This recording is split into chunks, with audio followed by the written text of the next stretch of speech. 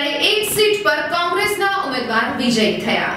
તારીખ અઠ્યાવીસમી ફેબ્રુઆરીના રોજ સમગ્ર ગુજરાત રાજ્યમાં સ્થાનિક સ્વરાજ્યની ચૂંટણી માટે મતદાન પ્રક્રિયા હાથ ધરવામાં આવી હતી અને આ મતદાન પ્રક્રિયા બાદ મત ગણતરી પર સૌની નજર મંડાયેલી હતી. કયો પક્ષ જીતશે અને કયા પક્ષનું શાસન આવશે? તે બાબત પર તમામ લોકો નજર રાખી રહ્યા હતા. તેવામાં ભુજ શહેર નગરપાલિકાની ચૂંટણીની વાત કરીએ તો ભુજ શહેરના વોર્ડ નંબર દસમાં ભાજપની પેનલ તૂટી ગઈ છે. વોર્ડ નંબર દસના વિસ્તારમાં ત્રણ સીટ ભાજપને ફાળે ગઈ છે તો એક સીટ પર કોંગ્રેસી ઉમેદવારનું વિજય થયું છે.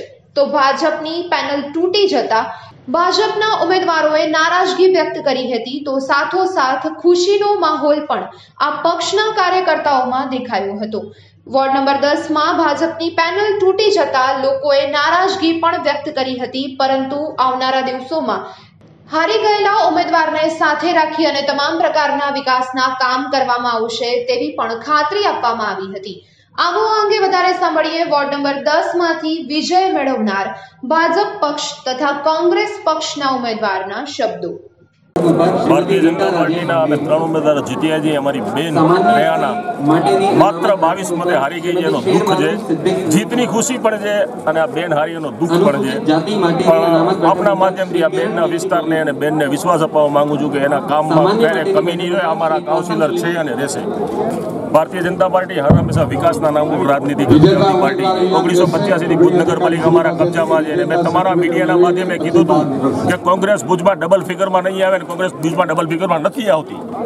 એટલે ભારતીય જનતા પાર્ટી વિકાસની રાજનીતિ ઉપર હાલવાળી પાર્ટી છે, અમે વિકાસના કામ કરશું અને ફરી પાછા પ્રજા